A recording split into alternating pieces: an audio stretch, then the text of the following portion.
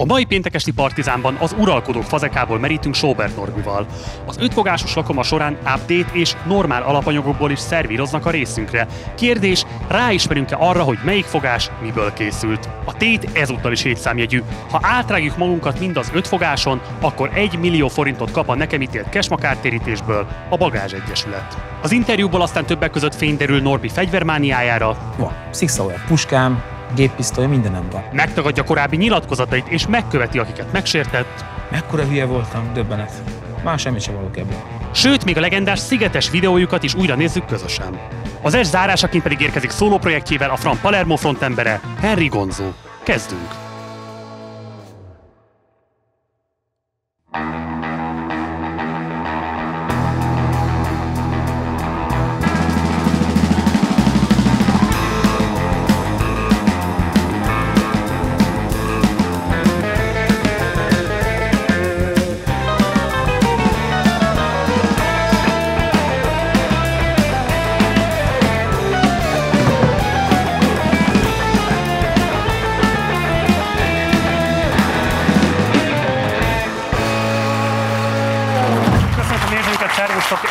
Péntekesti Partizán, a Partizán közéleti late night.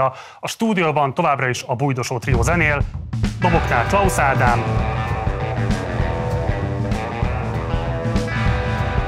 a basszusgitárnál Szerető Dániel, a zenekar vezetője pedig Bújdosó János.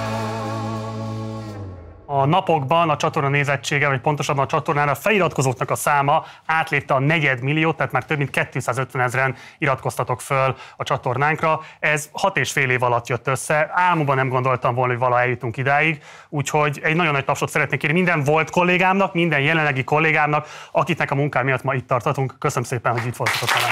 És itt vagytok velem.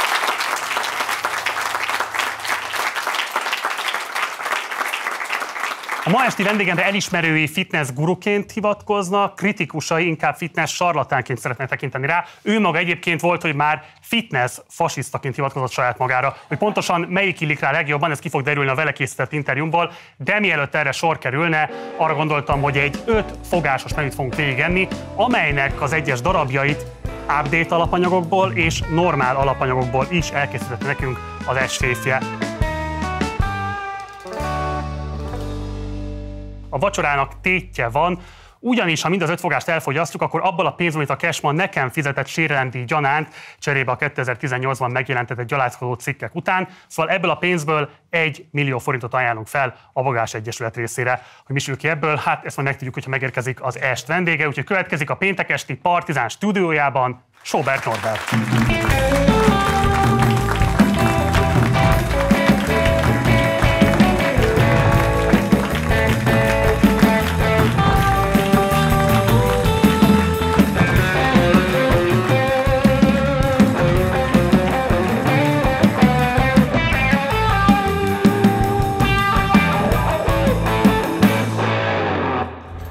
Szevasz, Norbi! Sziasztok, Üdv a sziasztok. stúdióban. Köszönöm szépen. Figyú, van két menü, nem tudom melyikünk van jobban megküldve tőle. Én franciául nem beszélek, de egy mukkot se. Hát én sem nagyon, de És nem is vállalkoznék arra, hogy ezt most így kiolvassam. Hívjuk be én azt gondolom az est séfjét, aki elkészítette Oké. nekünk a menüt, és akkor hát, hogyha ő majd elmondja, és akkor okosabbak leszünk. Úgyhogy, hölgyeim és uraim, következik a péntekesti Partizán stúdiójában az est séfje, Súlyok Janka.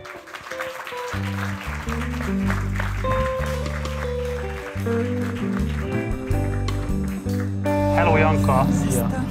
Jó, Norbi, egyszerűek a szabályok. Az öt fogásból mind az ötből muszáj legalább egy csipetet enni, rendben. de mindéket muszáj megenni is. Viszont kettőször szabad skippelni, és akkor viszont ki kell venned innen egy szetlit, vagy nekem, mert mindkettőnknek komoly kritikus a Puzsér Robert, Ú. és Puzsér Robert cikkek, idézetei vannak itt, tehát akkor lehet ugrani egy fogást, ha felolvasol egy idézetet. Vagy én. Oké, Jó? oké. Akkor kezdhetjük? Kezdhetjük.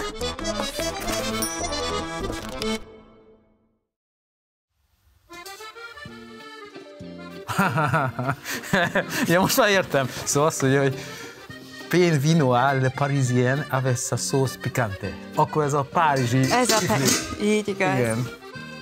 Na, én most mondom neked, hogy az övé az update, enyém a nem. Ezt így tudod miből? Hát a színéből, állagából meg is a saját termékemet. Jaka Péter mit fogyasztott update, vagy nem? Hát az nem update kifli. Az egy, Kifli és a parizert, azt megismered innen? Hát az egy sima bolti vágott parizer, az már mi parizerünk szerintem. Ez a ti parizeretek. Cseréljünk, hadd kóstolom már meg akkor ezt az update parizert. Na. Hm. Na. Soha, soha vacsoráztam még úgy, hogy 80 ember néző vacsorázok, szóval tök lámpalázos vagyok egyébként. Tehát, De. Igen. Hát 1200 ember táncolt már a zenédre, vagy Az- az más, ha- programodra. Az más, hogyha tornázok egy színpadon, 35 éve, és ott tornázok 2000-en, az, az oké. Okay. Tornázni inkább tornázol, mint étkezel emberek előtt. Igen. Igen. Fé, Ezt meg kell ennünk, vagy jön a Puzsér idézet. Tehát az a helyzet, hogy ezen most végig kell tennünk Ja. magunkat. Megmond- nem tudom, valaki egy negyed update parizeres. Na, komolyan, csak kézzel fogtam meg semmi.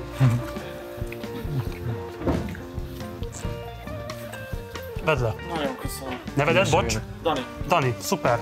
Dani, egészségedre. Ö, figyelj, én bevállom a Puzsé idézetet, mert... Igen, már azt el- ne, ö, ne. nem, Figyelj, nem tudod, mik, mik jönnek. tudom, de én nem... Ér, Figyelj, ne, én, tartalékunk, besegítek Adida felé. Oké, én, én nem tudok egy kifit megenni este. Akkor is. Tehát, Én- én- én nem- figyelj, ennyi sima kifit egy hét alatt nem eszek meg. Jöhet a következő fogás? Jöhet, köszönöm. Jön a második fogás. Íme az antré, Ez lángos. pedig Ez egy lángos. így igaz, Óbudai lángos? óbudai lángos. Szabó Tíma párbeszéd képviselőjének óbudai lángosa, jó? Aha. Hm, ez sima lángos. Ez sima lángos, ez százszerékos sima. Miért? Én a tésztám. Nézzük azt. Itt szerényen a harmadik percbe. Vagyunk már olyanba. Na, nézzük meg. Egy, egy tájéból csereszt nézzünk, gyerek. Ha nem is, hát most mit tud csinálni? Hát ennyi. Eljöttél. Na, nézzük meg.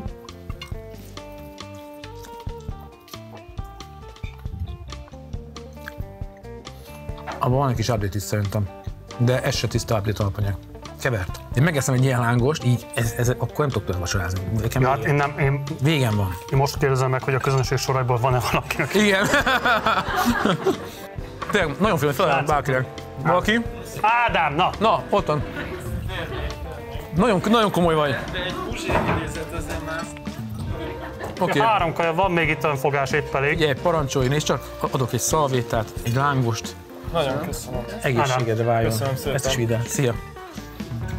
Aztán. Nem úszok meg a puzsért szerintem. Egyébként el, eltaláltad. Tényleg az, az volt az update, amire mondtad. A tiéd, ugye? Uh-huh. Köszönöm szépen. Nem csalódtam saját magamba. De jó, de ilyen csalás az többet nem élhetünk, úgyhogy a három fogás közül most már kettőt vagy skippelünk, vagy pedig olvasunk. Rendben. Jöhet a következő fogás? Jöhet.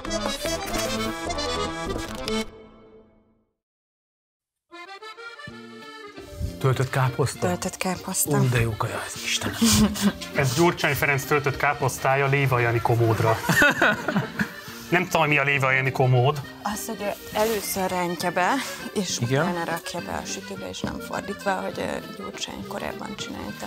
Ez, ez nagyon sok, nagyon tehát sok. Ez, ez nagyon sok, úgyhogy ezt valószínűleg skippelni fogjuk, de megesszük, nagyon finom kaja. Mindenki az azt mondja, hogy mindegyben muszáj beleadni legalább. Beleeszek, figyelj, rám számíthatsz.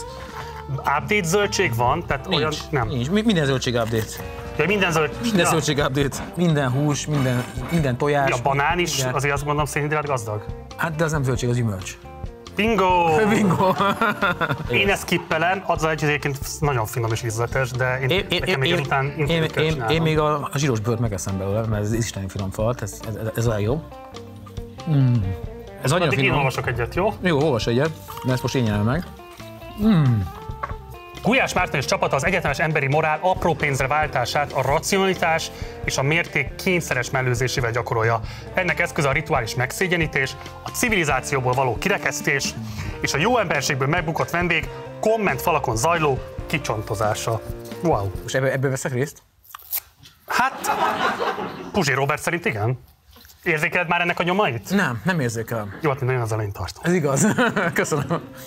Oké, okay, akkor neked is tessék, ott van egy. Na nézzük. Sobert mindig is ugyanaz a kártékony kuruló volt, aki évtizedek óta ugyanezzel a tudománytalan színhidrát terrorral frusztrál agyon minden nőt és férfit, aki csak közelébe kerül, rá is hozza a mocsok termékeit. Sobert Nobert velejéig soviniszta, fitness fasiszta, szélhámos, minden magyar ismeri őt. Köszönöm szépen. Szerintem ő, amit itt egyébként az előbbiekben írt rólam, vagy a műsorról, szerintem egyébként ez egy plauzibilis olvasat, tehát egyébként ez egy szerintem bizonyos értem akár felolvasat is. Az, amit rólad megfogalmazott, azzal kapcsolatban mit gondolsz? A színet terror a frusztrál, ez igaz. Tehát a színet terror az az életemnek az egyik fontos eleme, tényleg az embereket terrorizálom a szé- sok. Nem akarom, ennyi rosszat tegyenek az Fitness emberek. fasiszta vagy? Nem vagyok fitness fasiszta, ezt, ezt ízből mondtam, de igazából Akkor szintén terrorista vagy. az vagyok, színeterrorista vagyok. Sokkal Igen. jobb, abszolút, persze. Igen, sokkal jobb. Előrelépés. Sokkal jobb. A, a mocsok termékeimet az nem igaz, soviniszta nem vagyok, szélhámos meg végképp nem vagyok. De a többi az igaz. És tényleg az embereket frusztrálom a, a, az elhízással, az elhízás is frusztrál engem, mert, mert, mert éltem benne, meggyaláztak miatta. Van egy ilyen véleményem, hogy, hogy szerintem anyám is azért egyed- egyedül nevelt föl, Szóval sok családtagom meghalt az elhízásba, cukorbetegen kövérem, szóval, és rájöttem arra, hogy a magyar ember ma, manapság napi 6-800 g szénhatot eszik meg, úgyhogy nem is veszi észre. A 120 helyett. Jó, hát beszélünk arról, hogy a fitness fasizmusnak vagy a színhidrát terrorizmusnak vannak áldozatai. Vannak. Következik a következő negyedik fogás. Köszönöm szépen.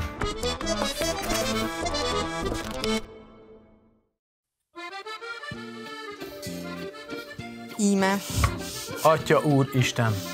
Na, egyik kenyér sem update. Ez egy német Szilárd féle nyúljás, azaz füstölt oldalassal készült ö, velőspacal, alma paprikával és kenyérrel. Én, én azt gondolom, hogy egyébként, hogyha ezt a kenyeret kiteszem innen, akkor ez update.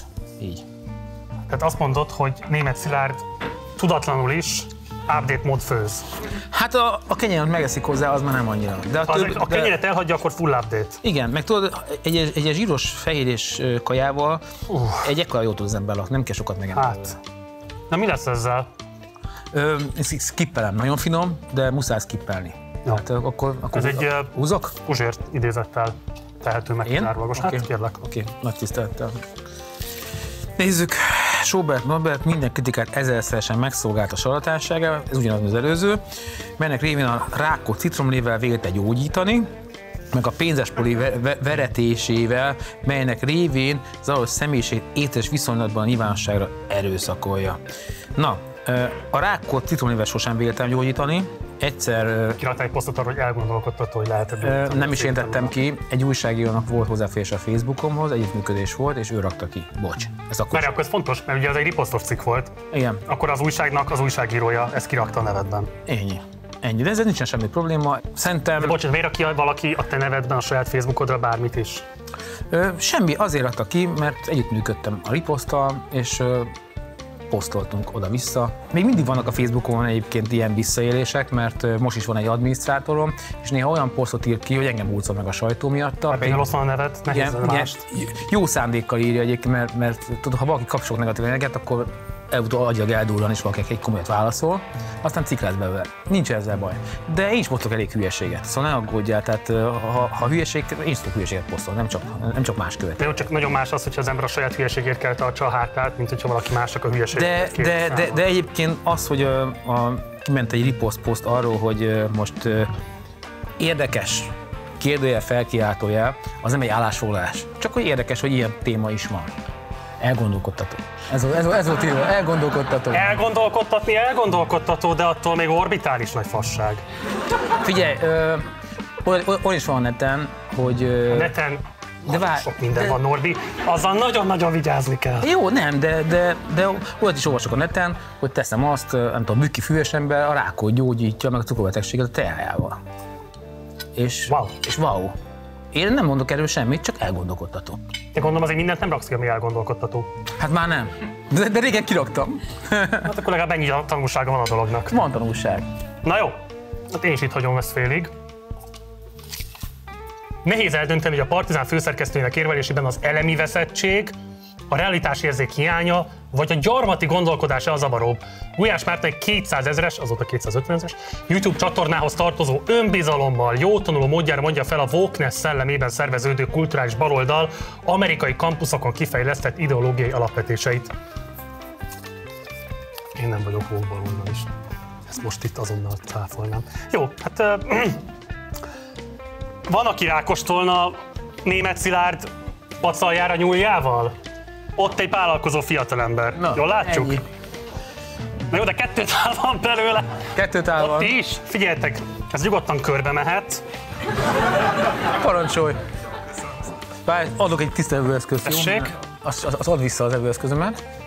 Na, hát van egy rossz hírem, Norbi. Na. Nincsen több uzséridézet, úgyhogy ö, bármi is érkezik az asztalról, muszáj lesz ennünk, és meg is kell ennünk. Hát akkor következzen az ötödik fogás.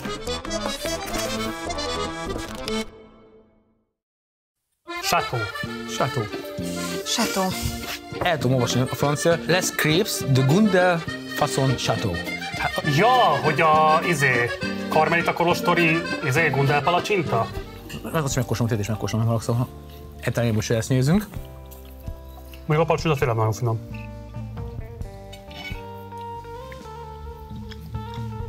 Két az update. Jó, mindegy, figyelj Norbi, csaljunk, mert műsort is kell csinálni. Igen. Ö, Az egyiket osszuk el oda, tessék, másikat pedig akkor oda. Összességében szinte egyébként update alapanyagokból főzni, az költséghatékonyabb, vagy azért nagyobb kiadást jelent az ember számára? Az, az alapanyag azért drágább, mint a sima, de mivel ö, magas a fehérje, magas a rostartalom, ezért ha- hamarabb laktat. Uh-huh. És nem viszi fel annyira az inzulin szintet, és az ember később lesz, és nem lesz annyira éhes. Tehát, hogyha egy napra és egy héten nézzük, van egy kutatásom, akkor az update szerint élni 30%-kal olcsóbb, mint csak össze-visszaenni. És téged meglep, hogyha azt mondom, hogy az update menüre 14.970 forintot költöttünk, a normál menüre pedig 9.890-et. Tehát van egy másfélszeres szorzó. Nem lett meg, de egyiket se meg. Tehát, hogy ha, ha, ha annyit teszünk, amilyen szükség van, uh-huh. akkor, akkor oly mindegy, ám az update-től később leszel éhes. Felteszem, hogy ti is megkapjátok folyton ezt a kritikát, hogy mennyire drága az update alapanyagoknak a köre, mert hogy volt egy ilyen gyakran ismételt kérdések leírás a Facebook Tudom, oldalatokon, ahol föltettétek ezt a kérdést, hogy gondolom sokat, sokszor megkaptok, mi szerint nekem annyi pénzem nincs, hogy megvegyem, mit tegyek, és erre az volt a cégnek a válasz, hogy Bruce Willis óta tudjuk, hogy az élet drága. E, ezen- Sajnáljuk, ha nincs ez- rá pénzed, de mi nem a Vörös Kereszt vagyunk. Ez az Olika volt, akit elmondtam. Tudtam, hogy ezt fogod hozni, ez pont, de Ez ez, az Olika. hát ez az adminisztrátorunk. Jelenleg is alkalmazásban még? Igen, ott van, megtartottuk. Szeretem, szeretem Zolikát. Aha. Apukája kollégám volt. És ezután azért leültél vele beszélgetni, vagy ezzel hűen tükrözi a cég kommunikációs stratégiáját? Szerintem ez egy kommunikációs hiba volt. Uh-huh. Jó, de felteszem, neki az a feladata, hogy így mérsékelje veled szemben indulatokat, nem pedig az, hogy gerjessze. Vagy Hát, ha más a stratégia, akkor tényleg vázold, mert nem biztos, hogy jól Ki, ki követnek. voltam Obertonban sielni, tudtam azt, hogy semmit nem nyilatkoztam, semmit nem csináltam, és láttam két hírt, hogy felháborodnak a kommentemen, Jézus Mária. Tehát ez, ez tényleg nem esett jól, és mondtam, hogy ezt légy szíved le, és legközelebb csak mérsékelt választ adjál, tárgyalagos választ adjál, Zolika, ne, ne fű- fűzzél vele indulatot, ne idézzél senkit, mert ebből mindig probléma adódik. Jó, Norbi, hát szerintem jól laktunk, jól laktunk? Nagyon jól laktunk. Jól laktunk, oké. Okay. Akkor mondjuk azt, hogy sikeresen áttettük magunkat ezen az öt fogáson. Igen. Úgyhogy nincs más dolgunk hátra, mint hogy akkor ezt az 1 millió forintot ajánljuk fel a Bagázs Egyesület részére. Elvileg itt van már velem a vonalban Horváth Tünde. Szervusz Tünde, köszöntelek az adásban. Sziasztok! Azt szeretném kérni tőled, hogy röviden mondd el, hogy mire fogjátok költeni ezt a pénzt, illetve kérlek, hogy azt is ismertesd a részünkre, hogy mivel foglalkozik a Bagázs Egyesület. Olyan embereknek segítünk, akik a programjainkban rendszeresen, aktívan részt vesznek, és mi a programjainkon a hazai már jól ismert szegregátumokban um, próbálunk ilyen komplex fejlesztéssel segíteni a telepen élő embereknek, gyerekprogramokkal, felnőtt programokkal, vannak egyéni és csoportos foglalkozásaink is. A gyerekprogramok igazából vannak otthoni fejlesztések, és vannak iskolában öm, történő fejlesztések is. A felnőtt programjaink, mint a mentor program, az az egyéni program, amivel segítünk az embereknek, munkába állás, adósságrendezés, szóval hasonló dolgokkal. Tünde, nagyon sok sikert kívánunk a munkátokhoz, rendkívül fontos az, amit csináltok, úgyhogy innen is az elismerésünket küldjük, és akkor Sobert Norbert és jó magam küldjük nektek ezt az 1 millió forintot is. Nagyon sok sikert kívánok nektek, minden jót, szervusz! Nagyon szépen köszönjük! Egy nagy tapsot szeretnék kínálni a Bagázs Egyesület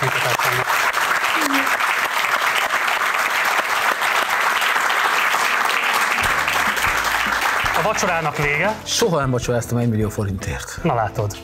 Kezdődhet az interjú? Kezdődhet. Akkor, hölgyeim és uraim, következik az interjú.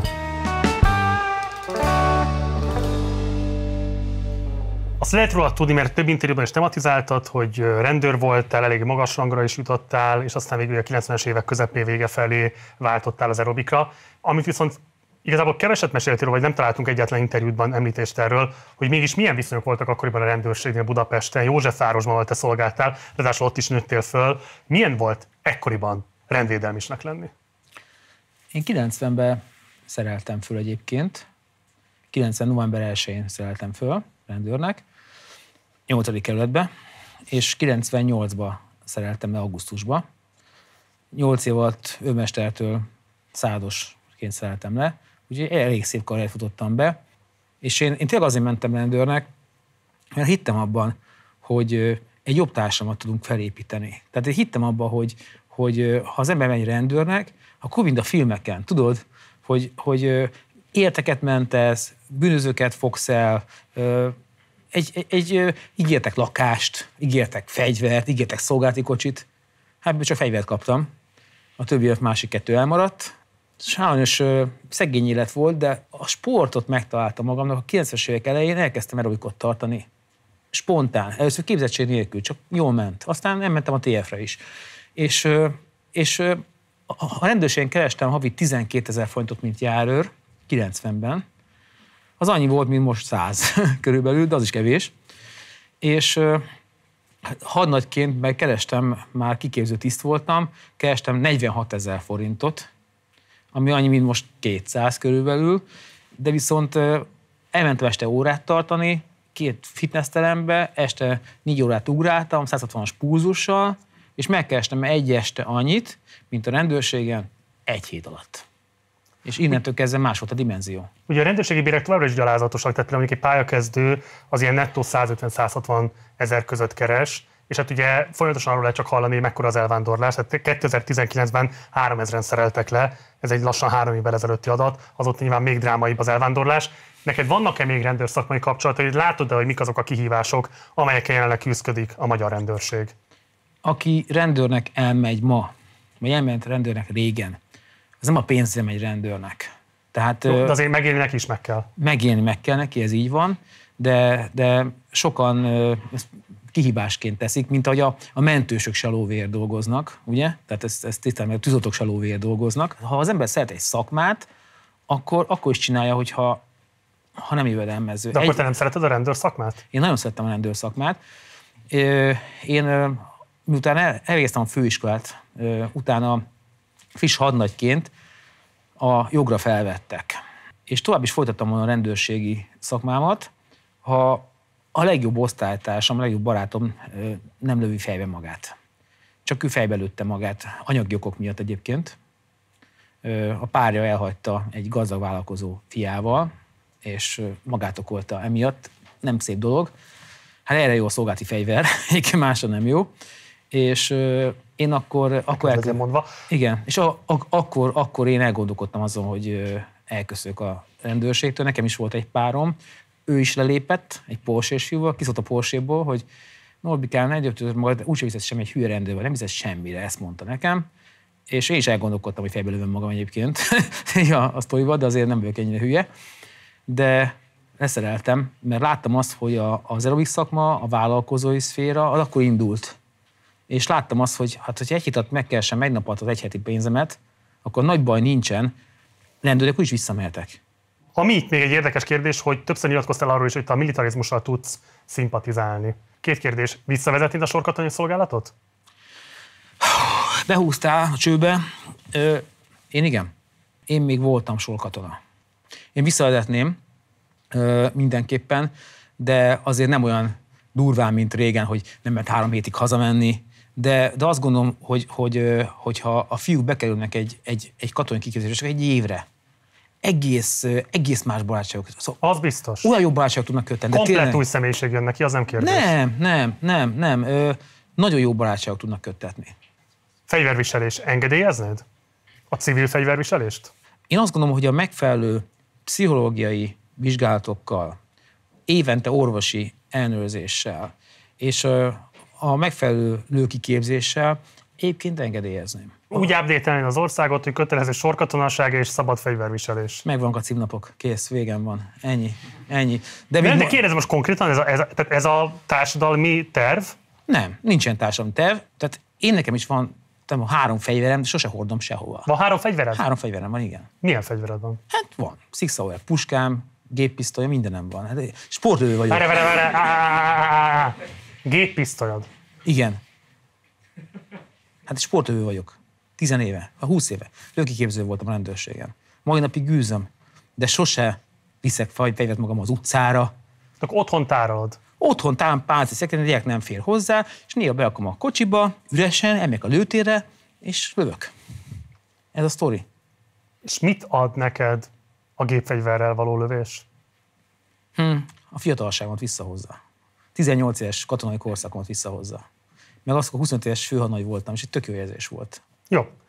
A rendőr szakmai múltad után ugye aerobik edzőként váltál, egy ország számára is ismerté, ami engem nagyon érdekelne, hogy van egy nagyon sajátos módszer, amivel a nézeteidet próbálod érvényre juttatni, és én ezt úgy fogalmaztam meg, hogy egyfajta a megszégyenítés pedagógiája. És te magad is nagyon sokszor beszéltél arról, hogy szerinted milyen felszabadító ereje tud lenni annak, hogyha valakit a szégyenérzettel motiválunk arra, hogy az az állapot, amivel az ő teste van, az nem normális, nem jó, nem kívánatos, tegyen ellene.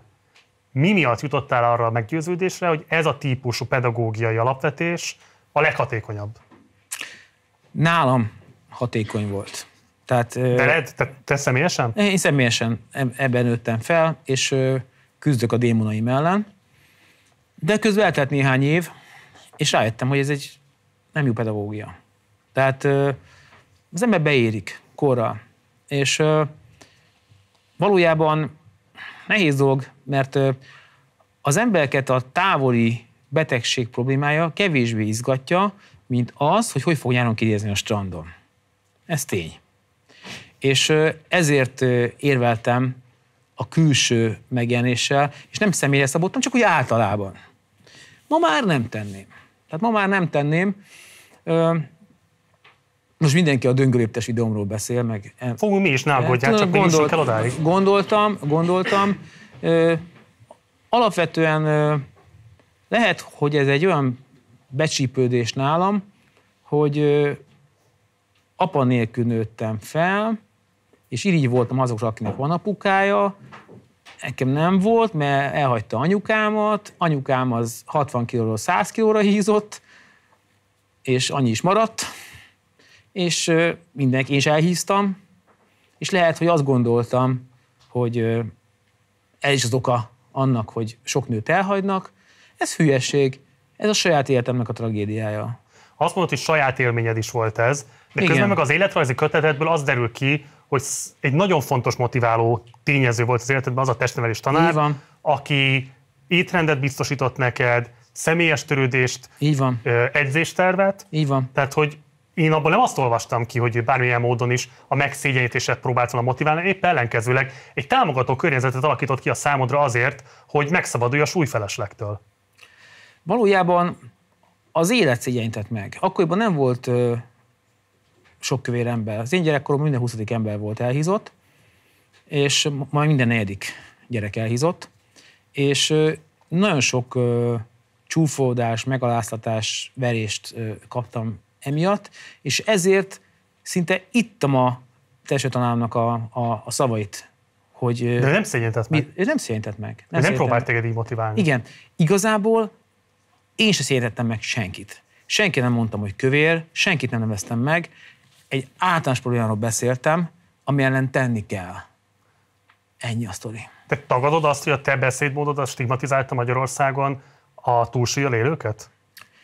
Ö, azt tagadom, hogy nem, nem stigmatizálta, ha- hanem egy- egyszerűen hülye példát hoztam föl. Hülye Ami példa. nagyon sokaknak nyilván Így komoly van, sérelmet így okozott. van, így van. Ha, ha, ha bemondtam volna férfit is mellé, akkor... Azoknak akkor, is. Azoknak is. A férfit azt úgy mondtam be, hogy magamról beszéltem, a saját csimpás öcsemről beszéltem, tehát ott magamról beszéltem, ne- nem a, nem a férfiakról. De alapvetően, mondom, ma már így három év távlatában nem fogalmazok semmit. Ha nem tudom, látod-e, de Nem is nagyon live-ozok. De bocs, nem, de, de Norbi, bocs, ezt én abszolút nem értem. Tehát hogy lehet az, hogy valaki felnőtt ember létére így meggyőződéssel azt gondolja, hogy megszégyenítéssel embereket lehet motiválni bármire is? Van, akit lehet, van, aki meg, meg bedacol. Tehát fele-fele az arány egyébként. Az a baj, tudományosan bizonyított, hogy például akiket a túlsúlyok miatt ér diszkrimináció, azok 3,2-szer nagyobb eséllyel maradnak túlsúlyosak, mert egész egyszerűen nem lesznek motiváltak abban, hogy bármilyen módon is foglalkozzanak ezzel a kérdéskörrel, mert egész egyszerűen olyan stresszt jelent számukra az ezzel való megküzdés, hogy pláne, hogyha érkezik egy ilyen külső inger, akkor végképp feladják. Én kaptam egy csomó levelet, hogy ö, 90-100 kilós nő rájött, hogy nagyon hallgatott rám, de lefőtt 40 kilót, és köszöni, hogy szembesítettem. Én mondtam, hogy hiba volt, sajnálom. Igazából ez a téma mindig fölkerül a a nevemmel kapcsolatosan, mint hogyha egész mindenki tökéletesen beszélne. Nem, volt egy, volt, volt egy hülye estém és egy, egy hülye mondatom. Jó, Ennyi bocs, a akkor nézzük meg egy összeállítást, mert szerintem senki nem beszélne önmagában a döngő léptekről. Ez lenne, hogy ez valamilyen szinten azért konzekvensen megmutatkozik a közéleti munkásságodban, évtizedes távlatban is. Tehát, hogy ez a típusú megszégyenítési retorikára épülő kezelése a nyilvánosságnak, ez vissza-vissza köszön, és nagyon nehezen lehet megérteni igazából miért. Úgyhogy nézzük meg most egy ilyen összeállítást, és nagyon szeretném megérteni utána, hogy mi az a logika, ami téged ebben vezet. Azért nem vitálok senkivel, mert tudom azt, hogy a fogyás területén Magyarországon én vagyok a legjobb. Ha volna olyan genetikai betegség, ami az embert elhízlalja, akármit tesz ellene, akkor hát azért Pajzsmirigy. Nem, az se. Tehát az se. Igazából egy orvos barátom mondta, hogy te láttál a gulágon, vagy Auschwitzba ö, elhízottat? Tehát Ez, ez, ez erős példa, igen. Bizonyos kor után, ha hízunk, akkor én úgy szoktam mindig hívni, hogy kialakul a csimpánz csöcs. A férfi a 100 kilónál kezdődik, tehát ez egyik mondat. Itt, na, itt nagyon tévedésben vannak, a vágódisznó kezdődik 100 kilónál. Sajnos a nők többsége a szülésnél cseszi el. Ott cseszi el, mert úgy gondolja, hogy értéket adott a férfinek, a családnak, és tényleg adott értéket, csak a férfi szexualitása ezt az értéket nem tudja értékelni. 58 kilós nő helyett a 78 kilós vagy 88 kilós hölgy érkezik meg döngő léptekkel a, a hálószobába, bizony a férfiak számára kínszenvedés. Egy nagyon csinos kismama, képzeljétek el, ilyen is van. Szerintem a terhesség és a szülés az nem egy dráma. Egy szülőnő, egy várandós nő, egy szoptatós anyuka legyen szép, legyen fit, legyen karcsú, és sugározzon, és frissen mosott legyen a haja. Ha egy nő bomba tud maradni, akkor sokkal inkább több esélye van megtartani a párját, és egészségesen élni. Ha belső értékeinkkel szeretjük egymást, akkor szerintem nyugodtan a, visszaléphetünk a burkinihez. Mekkora hülye voltam, döbbenet. Van olyan mondatod, amit most így visszahallgatva ma is vallasz? Szerintem már semmit sem valok ebből. Tényleg. Egyszerűen döbbenet. Mert igen. Az ember hibázik sokszor az életében. Hát elég sokszor. Tehát, hogyha elég, sokszor, visszaszámolnánk- elég sokszor hibáztam az életembe. Figyelj, nem azt számít, hogy mit tettél, hanem mit teszel ezután. És mit fogsz tenni ezután? Mert azért ezek a szavak a mai napig visszhangzanak a nyilvánosságban, adott esetben hivatkozási alapok is. Ö, nézd, ö, sajnos az elhízásnak vannak olyan optikai következményei, ami mind férfi, mind nő részéről befolyásolja a párkapcsolatnak a sikerét. Ezt senki nem kérdőjelezte. Ez meg. senki nem. De ahogy ezt lekommunikáltam, az teljesen szar. Ez szar. Ennyi. Ennyi. Egyszerűen ma már sokkal átgondoltabban válaszolok, és ha nem mondom, nem, nem live-ozok, mert az ember... Tehát veszélyes, hogyha rászabadulsz a Facebook oldalra, azt nagyon, mondod. nagyon veszélyes. Annál Nagyon, már csak az Olika tud veszélyesebb lenni. az Olika, így van, így van. Szerencsé, hogy ő kezeli a Facebook oldalad, mert igen, igen, igen. Nem tudom, iszonyú gyökér voltam. Tehát így, így, én ezeket nem is nézem vissza. Ha most így megmutatod nekem, és tök szar látni. Tényleg. Bocsánatot kérsz ezekért? Bocsánatot, itt most mindenkitől. Simán. Magamtól is. Tényleg. Magadtól is? Hát magamtól is bocsánatot kell kérjek, mert Magadat aláztad meg ezzel? magamat. Magamat aláztam meg vele, igen. Igen, magamat találtam meg. De Norbi, bocs, amikor az, egész botrány kirobbant, te olyan megingathatatlan magabiztossággal jártál szerkesztőségről szerkesztőségre, stúdióról stúdióra, és mondtad végig konzekvensen, és vallottad megingathatatlan, hogy bármilyen módon is te e, elítélhetően kommunikáltál volna. Miért nem voltál képes erre akkor, amire most képes vagy? Nem tudom. Nem tudom. Nem tudom. Lehet, hogy... ö, Konokember vagy? Igen, egy, egy hülye kos vagyok, tudod, akinek igaza van, és részben igazam volt, de nem szabad így, kimondani az igazat. Várj, várj, bocs. Most akkor igazad volt, vagy nem volt igazad? E, nem mondom. Jó? Tehát, Nem, nem, ö, ezt mondd el. Jó. Most ö, igazad volt, vagy nem volt igazad? mindenki tudja, hogy részben igazam volt, de ezt nem szabad, nem szabad, nem szabad így kimondani. Mert nem szabad senkit sem megalázó helyzetbe juttatni. Ez az igazság. Tehát vannak igazságok, amik működnek, de nem beszélünk róla. És ez van. Tehát valószínűleg, hogyha én most, nem tudom, 110 kiló lennék ebbe a korba, akkor a felség ugyanúgy szeretne, nem biztos, hogy annyira vonzódna hozzám mondjuk szexuálisan. Ettől félsz? Tehát félsz attól, hogyha megváltozik a testalkatod, akkor például elveszítheted a feleséget? Félek. Félek, igen. Félsz attól, hogy ha megváltozik a testalkatod, akkor azok a sikerek, amelyek most a sajátjaid, azok megszűnnek? Megszűntek. Én egy pár évvel ezelőtt egy 15 kilóval több voltam, mert ö, amikor volt a szívműtétem, és nagyon, akkor nagyon lefogytam. 60 kiló lefogytam, majdnem meghaltam.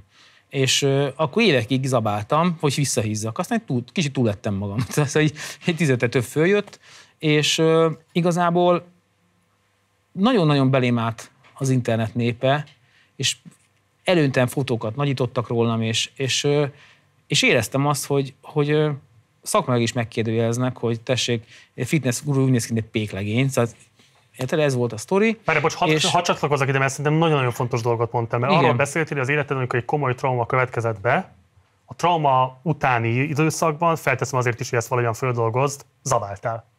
Ez így van. És pont azt mondja a dietetikai szakirodalom is, nem én mondom, mert utána olvastunk, hogy az elhízás legtöbbször a stresszel való megküzdés miatt alakul ki, mert a legkönnyebb például az alacsony osztályhelyzetű embereknek az, hogy az olcsó Így szénhidrátokhoz jussanak Így el, van. mert nincsen pszichológusi segítség, mert nincsen olyan támogató környezet, és így tovább, és ráadásul van a megélhetés kényszere, el kell tartani a családot, stb. stb. Tehát, hogy azt kérdezem, hogyha el, most elismered azt, hogy a stressz hatására alakul ki a szénhidrátok korlátlan fogyasztása, Nekem nem a stressz okozta. akkor miért érdemes tovább stresszelni azokat az embereket, akik eleve már egy stresszel való rossz megküzdés miatt jutnak el a túlsúlyig? Azért, mert valószínűleg, hogy egy olyan korszakomat éltem, annyi siker volt mögöttem, hogy elhittem, hogy ezt megtehetem. És Ez hiba volt? ez kurva hiba volt. Ki tudod itt most jelenteni ebben a stúdióban a nézők előtt, meg hát akik néznek a képernyő túloldalán, hogy a jövőben mindenfajta testszégyenítéstől tartózkodni fogsz? Én a jövőben abszolút nem, nem csak a teszélyintés fog, fog tartó, ö, tartózkodni, hanem ugye a véleménynyilvántástól fog tartózkodni. Az nem biztos, hogy attól tartózkodni kéne. Nem próbálnál mondjuk esetleg pozitív megerősítő üzenetekkel operálni a közönség számára? Hát Pozitívat szívesen mondok, de Mondj egy pozitív üzenetet egy embernek, aki küzd a túlsúlya. Hogy hangozna az Sobert Norbert szájából? a pozitív? Hát ö, azt mondanám az embereknek, hogy először is ö, a telefon képernyő idejét csökkentse, mert nap, napi 6 óra, 4 óra a képernyő idő az emberek a telefonján, vegye, egy két órát vegye le belőle, tegye le, és helyett egy órás sportoljon. Ez egy pozitív. ez, ez, ez, ez egy pozitív. Ez egy pozitív. még érdemes lenne gyúrni egy kicsit. Nem tudom, nem tudom. Ez, ez mindenképp pozitív, mert a telefon, a, a tévé beszippantja a- az embereket, és, és kevés dolgot teszünk egymásért, meg magunkért. Csak, csak figyelünk és olvasunk. És, és azt mondom az embereknek, hogy, hogy egészségesen táplálkozni, és nem csak update egészségesen táplálkozni, egyébként nem kerül többe, mint elhízni.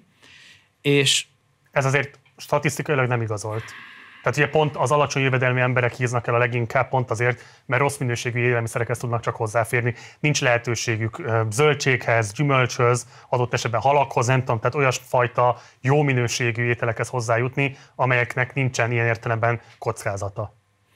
Hát azért száz éve Magyarországon lakosságnak nem volt nagyon sok pénze, és nem, Nem is voltak voltak még finomított cukros Na, ez a lényeg, és így ez a lényeg, ez a lényeg. A, a, Hát de akkor ugyanazt mondod, amit én? Nagyjából ugyanazt mondom. Nem tudom. Ö, én, én azt mondom, hogy ö, próbálok szakmailag tárgyalagos maradni. Tudom, hogy hol a helyem. Tudom azt, hogy ha valamit mondok, az, az fel fogja kapni a sajtó. Úgyhogy, ö, és, és mondom, van az életemben csomó dolgom, amire büszke vagyok, sok jó dolgot elértem, és vannak ilyen kommunikációs hibák, amik- amiket meg tök szégyellek. De értem végig nem vezekelhetek érte. Hát most kezdted, tehát ez még bőven nem az életed vége. Hm. Én, bocs, nem, tudod, hogy miért van ennek rendkívül jelentősége? A te szavad eljut, nagyon sokakhoz eljut, milliókhoz eljut. És éppen ezért alapvetően tudod befolyásolni azt, hogy az emberek milyen a túlsúlya való megküzdésnek milyen formáit tudják elképzelni, tartják helyesnek, szeretnék követendőnek látni. Tehát szerintem én nem látom, hogy az lenne a helyes megoldás, hogy akkor berekezted a közvélemény formálását, hanem lehet, hogy esetleg változtatnod kéne az üzleteden, ha te is azt mondod, hogy ez egy rossz gyakorlat Én nagyon sokat változtattam az üzletemen. Alapvetően például azt mondom neked, hogy én most azt kommunikálom, hogy nem csak az update a jó. Tehát uh-huh. ha, ha bárki be akar be, csőbe húzni, én nem. Én azt mondom, az összes low carb keto diéta mind nagyon jó. A mediterrán is jó, mindegyik jó. Ebben a diéta jó dolog, ha az ember összeszeszik, az nem jó. Kettő, én azt mondom, hogy naponta fél órát mozogni az embernek, bármit, bármit, az olyan, mint, mint fürödni. A belső zuhany. Tehát, mintha kívül nem fürödnénk le este. Tehát egy napi órát ki kell izzadni az embernek. Erre, erre nincs menség, ezt meg kell csinálni.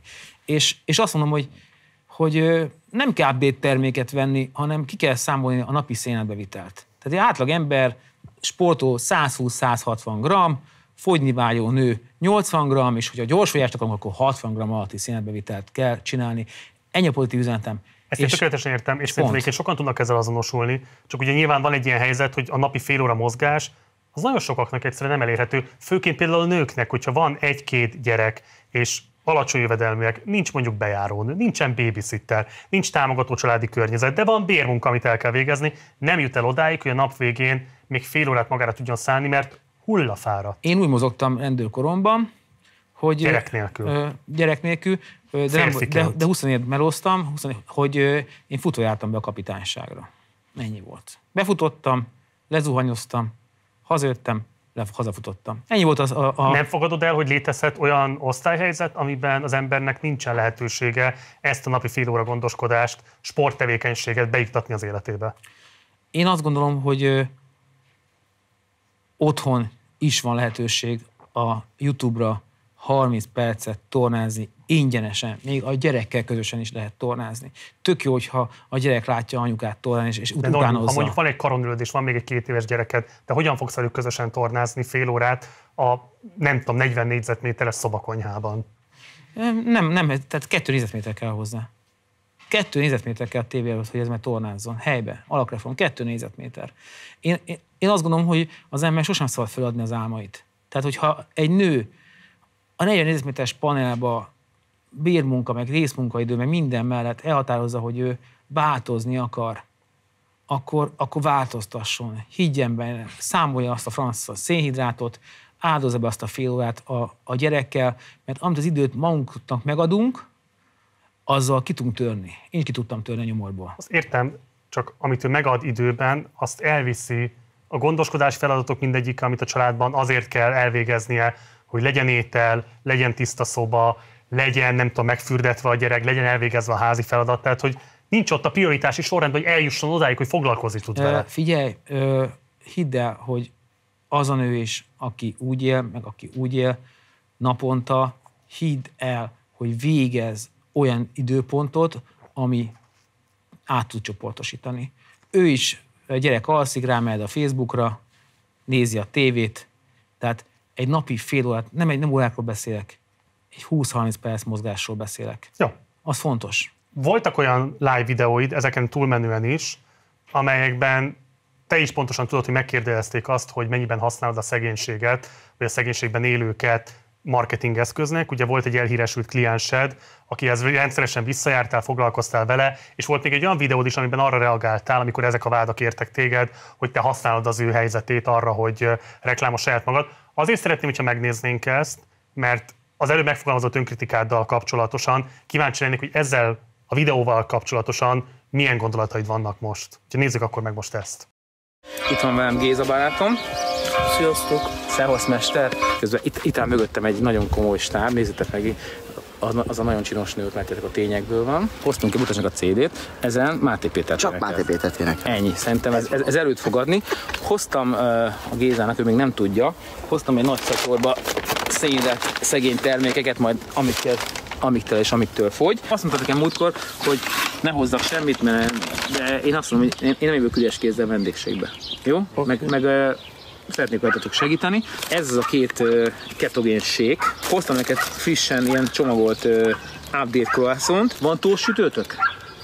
Nincs tósütő? Mm. Azt is küldenem kell, mi? Mindenki azt írja, hogy hát, hogy nem tudok én olyat, meg nekem nem telik fogyós cuccokra. Figyelj, nem a cuccok fogyasztanak, amit betartasz. Itt tudunk a kórház előtt, nézzük meg. Itt csövezünk. De kurva menő, itt mögöttünk van egy csöves is, látják? Mi... De nem, de ott van mögöttünk, nézd, tök aranyos, adjunk egy kis pénzt adok neki, jó? Többen írják, hogy ez nem segítségnyújtás, hanem ingyen reklám. Figyeljetek, ingyen reklám nincs, tehát sajnos a mi időnk sincs ingyen, a mi termékeink sincsenek ingyen, az orvosok sincsenek ingyen, a meló az nincs ingyen, és nem is érdekel, megmondom őszintén a reklám, mert ha reklám érdekel, akkor nagy tisztelettel köszönöm, veszek magamnak ö, 280 spotot a rádió egyen a Balázs és, meg, és meg sem mozdulok, és otthon szivarozom. Tehát köszönöm, ebből nem kérek. Mi szeretnénk szeretnénk segíteni, példát nem mutatni, csak Gézának, hanem, mindenkinek, nektek is. Aki, aki Azoknak, nézi. akik követik ezt az Így oldalt. Ölelek benneteket, és ne felejtsétek el, hogy legyetek karcsúak és boldogok. Ebben tudunk segíteni. Hát ö, alapvetően azt gondolom, hogy ö, minden szó igaz. Tehát ö, nem azért segítettem a Gézán, mert szegény, vagy nem szegény, hanem azért, mert megkeresett ezzel a Bors című napilap, hogy tudok neki segíteni. 317 kiló volt a Géza egyébként, és most olyan 185 körül van, de lehet, hogy jövő már kevesebb lesz. Tehát, De, de, bocs, ne legyen félértés, szerintem minden segítség segítség, ez így van. és nyilvánvalóan, hogyha ez a fiatalember vesztett a súlyából, és ezzel most nem tudom én, az egészségi állapota jobb, mint amilyen korábban volt, akkor ez egy tök jó dolog. Én csak Így azt van. kérdezem, hogy morálisan nem problémás-e az, hogy te az ő fogyási tevékenységéből csináltál egy ilyen videósorozatot, ami nyilvánvalóan számodra elérést jutott, ö, hozott, ilyen szempontból neked reklámozta a tevékenységedet, tehát hogy kellett-e őt kitenni annak a nyilvánosságnak, amivel te rendelkezel? ő már a nyilvánosságból volt. Tehát a nyilvánosságból fordult hozzám. Tehát ő nyilvánosan fogyott, a média kísérte, mindent tudott róla a, a, az ember. Amikor bekapcsoltam, a nyilvánosság rám fordult. Rám fordult a nyilvánosság. Tehát ha nem jelentkeztünk, akkor széttámadtak újságok, kommentelők, hogy Rácz Géza feladta, összevesztek, a hülyeség ment a, a, a, a dolog. Tehát igazából a nyilvánosság nem volt megkerülhető, az más kérdés, hogy megint live-oztam, azt megint hülyeséget beszéltem, mert ültünk a kórház lépcsőjén, és mondtam, hogy ö, itt csövezünk Gézával, és pont jött egy, egy csöves, és a csövezünkből jött a csöves kifejezés a, a számra, miközben váltam kellett volna, hogy nézd ott egy hajléktalan, adjunk neki pénzt. Érted? Tehát hülyére, csö, ültem, hogy csövezünk, itt a csöve, hogy csövezünk. És a csövesből jött a csöves. Egy szar nyelvbotlás. És igen, szarul jöttem ki belőle, pedig Szóval jöttél ki belőle, vagy szemét módon viselkedtél? Én én azt mondom, hogy nem szemét mondom viselkedtem, mert azt ültünk, hogy csövezünk, itt csövezünk Gézával, és nézd, ott egy csöves, Daranyos bácsi, adjunk neki pénzt. Hülye, szóhasználat. A csövezünkből a csöves jutott eszembe, mert live-oztam. Nem szabad live Szerint azért a csöves az egy eléggé méltóság deficites megnevezés. Hát, figyelj, nálunk rendőröknél a 8. keretben beívott a, csöves kifejezés, és ha csövezünkről beszéltem, akkor csöves kimondtam. Ilyen nagy hülyeség volt. De nem, nem, nem rossz szándékból mondtam, hanem egyszerűen tényleg akartam az embernek segíteni. Jó, visszakerülve az elhízás és a vagyoni helyzet kérdéséhez, a Magyar Tudományos Akadémia talán az autoritását elismerik mindketten, Elhízó Magyarország címmel publikált 2015-ben egy tanulmányt, és ott például ez a megállapítás szerepelt, a testtömegindex szerinti és hasi elhízás a falvakban volt a legnagyobb arányú, különösen nőknél. Hát igen. Ez sajnos ez így van. De akkor Norbi, bocs, tehát ha így van, akkor nem mondhatod azt, hogy a vagyoni helyzet nem függ össze azzal, hogy az ember milyen típusú élelmiszereket engedhet meg magának, és emiatt az alacsonyabb vagyoni helyzetűek sokkal rosszabb minőségű szénhidrátokkal tömik magukat. Hát ezért van egy csomó olyan szegény ország a világban, ahol a szegények nagyon soványak. Tehát a, De most nem menjünk el Magyarországról, be ne Jó, nekem Afrikát, oké. hogy nehogy elkezdjünk akar, Ázsiáról nem. Afrikára akartam mondani, mondtad, hogy Dél-Amerikát, egy csomó jó? Igen, Magyarországon élünk, magyarok vagyunk. igen. És ez egy magyar tanulmány. Én, én azt gondolom, hogy nem csak a szegénységtől függ a, a dolog, függ azért a, a szülői mintától, az iskolázottságtól, ki mennyire olvas, mennyire követi a, a, a, a médiát. Alapvetően tényleg így van, hogy ha van egy vidéki, teszem azt, nő, és teszem azt, ott van az anyósa, a nő terhes, akkor elkezdi tömni, kettő helyet tegyél, de szédáltal tömni nem fehérjével szegényt, és, és nincs nagyon más lehetőség, ott nincs fitness, nincs edző, nincsen semmi. Tehát, Az előbb mondtad, kapcsolja be a Facebookot, hát ezt két mondom. négyzetméter e- oldja meg. e- oldja meg. Hát figyelj, a Réka segít. Szülés közben is a Ré- akár. Nem, de a Réka segít nekik, hogy megoldja. A Rékának rengeteg ingyenes tornája elérhető, Kismal torna, Alkrefom torna, Youtube-on mindenhol. Szerintem nagyon sokan követik őt. De Norbi, érted, hogy nem az a probléma, hogy nincsen ilyen videó online, Igen. hanem hogy az idő nincs meg, amit ennek az online videónak nem a megnézésére, hanem az edzésprogram végvitelére rá lehet szánni ezeknek az embereknek. Az idővel én vitába szállok veled. Jó, ebben nem Jó? fogunk akkor egyetérteni. Azok a kritikusaid, akik szerint sarlatán vagy, szerintem még ők is elismerik azt, amit egyébként nagyon sokan osztanak ebben az országban, hogy viszont marketing tevékenységet tekintve iskolateremtő vagy. Á, de hogy. És hogy az a, típusú, az a típusú nyilvánosság felfogás, amit kialakítasz, az lehet, hogy társadalmilag toxikus, lehet, hogy tök sok problémát hoz föl, de viszont arra, hogy a saját brandedet, és ezen keresztül a termékeidet folyamatosan újra tud tematizálni, arra kiválóan alkalmas. Te folyamatosan tagadtad korábbi interjútban azt, hogy ilyenfajta tudatosság vezetett volna akkor, amikor az itt látott beszólásokra vetemettél, de ezt azért nehéz elképzelni. Pedig nem volt benne tényleg semmifajta marketinges tudatosság ekkor? Á, mondom, hogy én nem vagyok jó marketinges. Hát az, hogy nagyon marketinges vagyok, nem. Nem. Az, hogy eddig eljutottam, az azért van, mert egyrészt igazat mondok, az emberek lefogynak vele, a termék működik, a torna működik, és ha megszólok, csak rontok az egészen. Hát ez így van. Tehát ö, é- é- azért, azért jutottam idá, idáig, mert az igazat képviselem, de szarul képviselem az igazat. Azért, mert... De azért e- mondom, hogy felteszem már vagy olyan anyagi helyzetben, hogy akkor elmegyek kommunikációs tanácsadóhoz, és nem tudom én, foglalkozza, nem tudom én, retorikáddal például.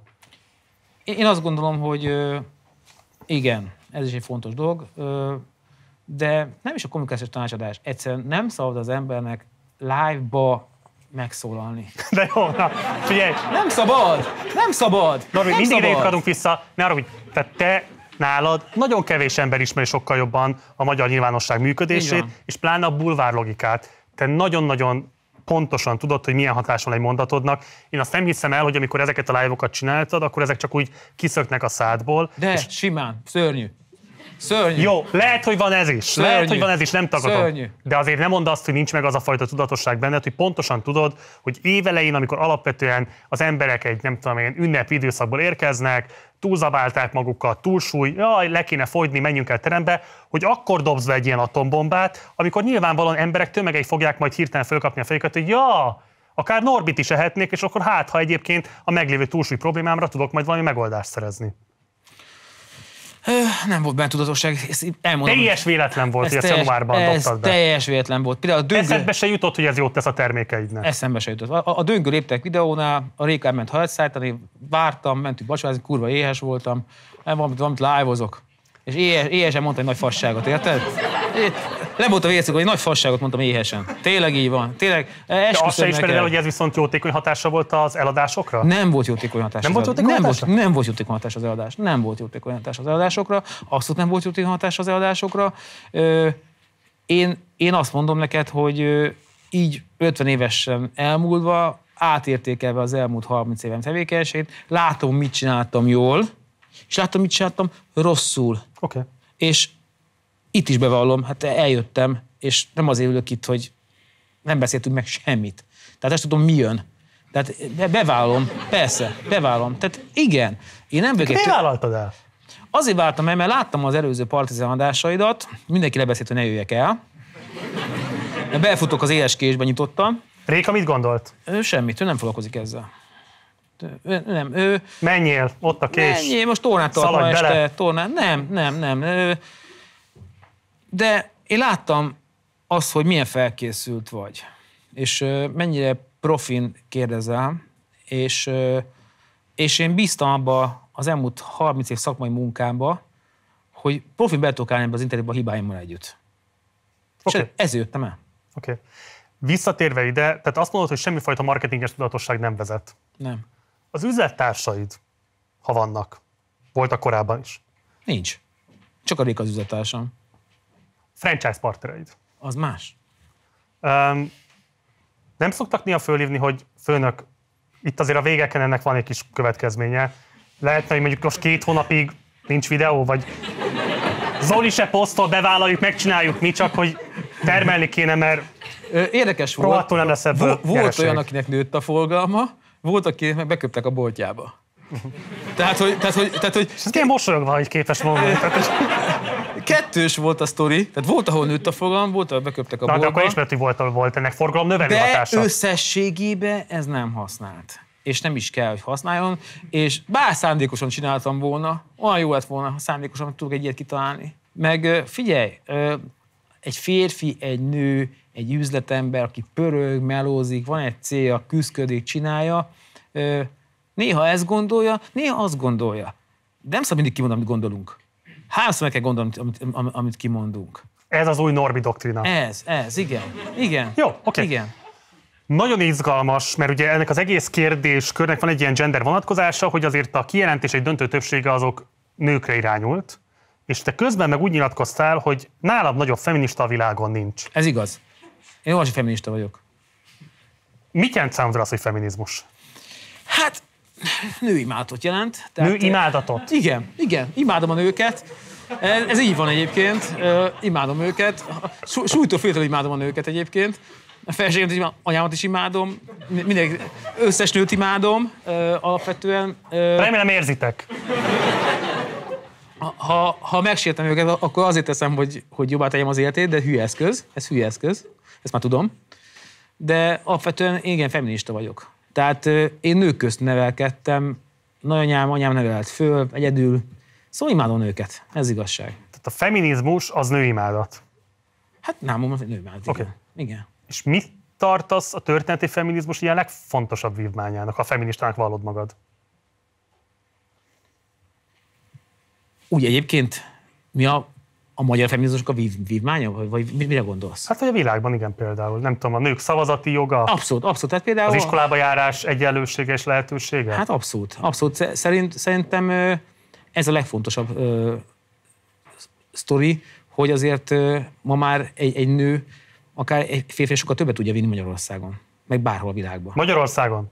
Hát jó, Magyarországon nem annyira, de, de, de azért igen. De azért igen. Tehát azért én dolgozom nagyon komoly női menedzserekkel, női jogásszal, és nagyon komoly emberek. És, és, és, és nagyon megbízhatóak. És nagyon, nagyon, tehát egy nő azért sokkal okosabb, mint egy férfi, mert egy férfi azért szerintem mi férfiak azért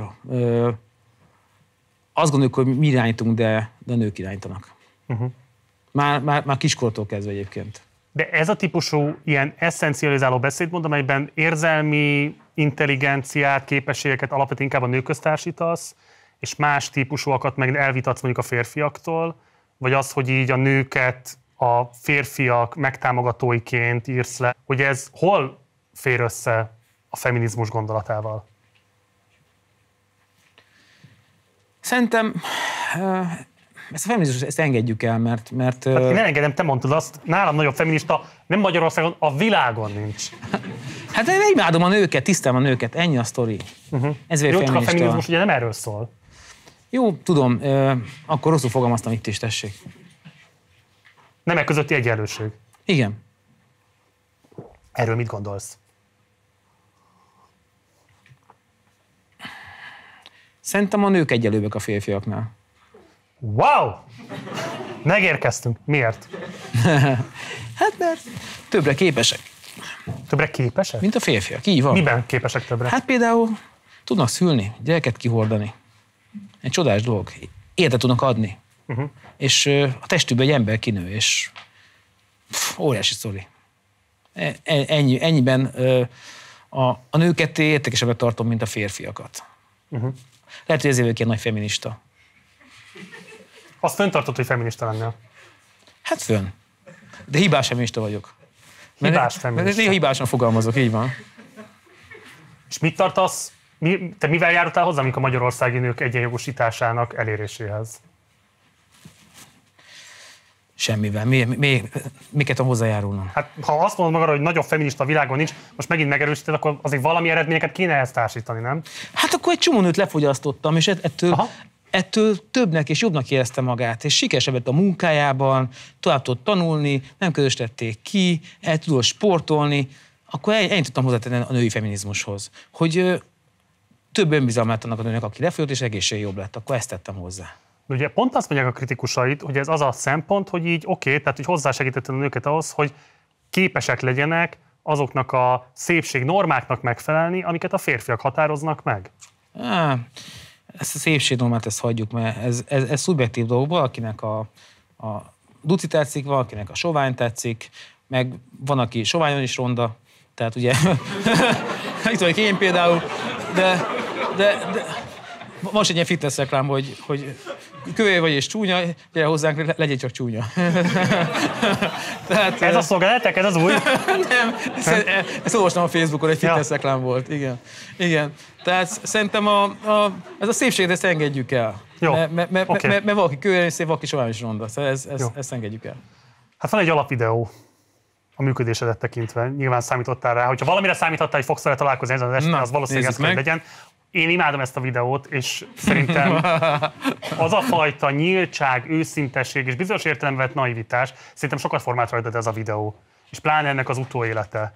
És Ja, Istenem. szerintem egy tök izgalmas kérdés, hogy ez te itt belettél húzva a csőbe, vagy teljesen tudatosan akartál magadra egy ilyen képet közvetíteni, egy tényleg alapvideó, tehát a magyar internet egyik alapvideóját fogjuk most megnézni, vagy abból egy részletet. Ja, Istenem. Úgyhogy szeretném megnézni, hogy hogy nézett ki az, amikor Ács Dánielék elkísértek az Indextől a szigetre. Jaj, ne.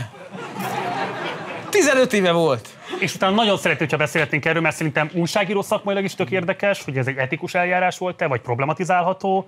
Tökre érdekelne, hogy te magad azután hogyan változtál, meg egyáltalán mit gondolsz ennyi év távlatában a videóról. Egy rövid részletet fogunk csak megnézni most belőle. Köszönöm.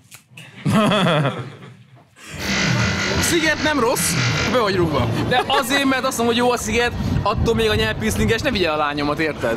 Úgy képzelem el, hogy ide jönnek a 16 éves lányok, érted, ö, kialval, be- beütik a nyelvfűszinget, itt elvesztik a szüzességüket, legalább odaadják 30 embernek, kipróbálják a marihuánát, a hasist, a, az alkoholt, és úgy szexelnek, hogy négy napig nem fürdenek. Érted? Ez én prekoncepcióm. Félek attól, hogy a lányom bekap valami drogot, mert megkóstolják vele, és önkívületi állapotban magába fogadja mondjuk ennek a jobboldali embernek a spermáját. Tehát ő rohadtul félek, érted? Mint apa. A zene, a futás, az edzés, nekem az drog, abszolút. Más nem.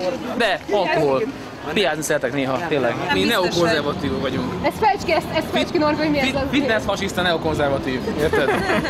A neokonzervatív az azt akarja, hogy egyrészt tehát modern felfogások vagyunk, mondjuk az életvitel, a táplálkozás, a sport, a buli terén, de másik oldalról megőrizzük azokat a családi értékeket, amik mondjuk 100-200 évvel is értékek voltak. Tehát az, hogy, hogy család, hogy történik a szex, a szellem, no drog, no túlzott pia, érted? Kicsit be is lehet baszni, de nem is, érted? Ö, Lehet rengeni, és nem is. Köszönöm szépen! Ne nekem, ne nekem. Ács Dánielék készítették, ugye régi Index, Igen. most már 444. Jó, hogy mondjam, Szóval... Ez, ez egy 16 éves videó legalább. ö, megbántad? Amúgy nem. Nem. Nem. Nem bántam meg. Figyelj! ö, Kétfajta ember van Magyarországon. Tehát ö, van, aki ezt gondolja a szigetről, valaki meg nem, aki kijár. Tudod? Én az voltam, aki nem jár ki, és kivittek. És elmondtam, hogy mit gondoltam róla. Nem azt gondoltam róla, csak hogy mit gondoltam eddig róla. Uh-huh. És ráadásul kimentünk éjgyomorra, átvehettük a tömegen, 35 fok melegbe, és, és, megitta, és, és egy vödör mojitó megitattak. És ott egy vödör mojitó, ott ittuk. Igen, igen, igen. Oh, kész voltam. Vércukor leesett, kontroll elindult, Nem rúgtam csúnyán be. Visszaéltek a naivitásoddal a te megítélésed szerint? Nagyon. Nagyon. És hülye voltam, hogy jó, hát leengedtem azt a videót. Hát meg kellett volna nézni, jó, meg kellett volna hagyni. Nem, mindegy. Te média tudatosabb lettél ezután? Hát látod, hogy nem. Hát tiszta hülye vagyok, hát nézd meg. Hát tiszta Akkor hülye vagyok. vagyunk, Norbert. Ez egy közel 20 éves videó, Igen. ahol szépen be lett neked mutatva, hogy mit, miért kell vigyázni a médiával, Igen. mert ott veszélyes dolgok történhetnek. Igen, és és még úgy tűnik, hogy azután, tehát jön a Facebook, jön a Blik, és hogy így folytatólagosan újra és újra előállnak ilyen helyzetek az életedben. Tehát, hogy, hogy mi hiányzott ahhoz, hogy belásd, hogy ennél talán tudatosabban kéne kezelni az ilyen helyzeteket? Mi hiányzott hozzá? Nem tudom. Ö, fél éve kaptam egy strokkot, az agyam újra bútolt azóta. Tényleg, jó indult az egész agyam, és más rendszer szerint gondolkodom, tényleg. Tényleg. E, Mindent átértékeltem, lehiggadtam, lelassultam. Szégyem a régi önmagamat, tényleg Ezt egyébként. szégyelled most? Hát ezt nem szégyem, ez, ez, olyan fiatal voltam, annyira bohó voltam, egyébként tök jól néztem ki benne. Hát nézd, tök, tök, tök, that. tiszta fitness voltam, nagyon jól néztem ki. Gyerekeid látták ezeket a videókat? Nem, de lejátszom neki, imádni fogja. Imád, imádni Se a fogja. lányod, se a fiaid nem látták ezt. Imádni fogja. Egyébként, egyébként, igen, hát ők, akkor még nem, nem, is, nem is léteztek. Nem látták. Persze nem látták. Hát de azóta nyilván felfedezték, van az internet. de, de nem, nem, volt otthon téma egyébként ez a videó, de ez volt az Indexnek a legnézettebb videója volt az Indexnek ez. Ez óriási videó volt. Tehát névszabadság színap volt. Mindenki engem gyűlölt érte, meg szeretett. Úgyhogy óriási volt. De ez te ezt a nagyon élvezed. Tehát igazából azt élvezed, Norbi, hogy oda tudsz durrantani nullás lisztbe. Update lisztbe, bocsáss meg, de hogy oda tudsz durrantani. De nem akartam durrantani. Hát mondom, hogy, hogy kimentünk, De meleg nem az volt. hogy ezután a videó után kaptál rá ennek az ízére? Nem, figyelj, ezt a videót én napokig szarul éreztem magam a videót egyébként. Igen? Persze, szarul éreztem magam tőle. Figyelj, most 25 éves médiapályafutásról beszélünk, és van 5 évente egy szar videóm. 5 évente egy. Nem több! 5 évente egy! 5 évente egy. Van egy csomó jó, van egy csomó jó torna videóm is, tessék, amit lefolynak az emberek. Én, De akkor Norbi lehet, csak tornázni kéne, igen, nem?